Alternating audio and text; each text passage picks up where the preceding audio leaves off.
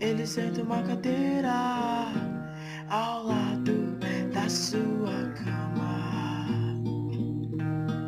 Ele sorri vendo você se debatendo enquanto corta sua garganta.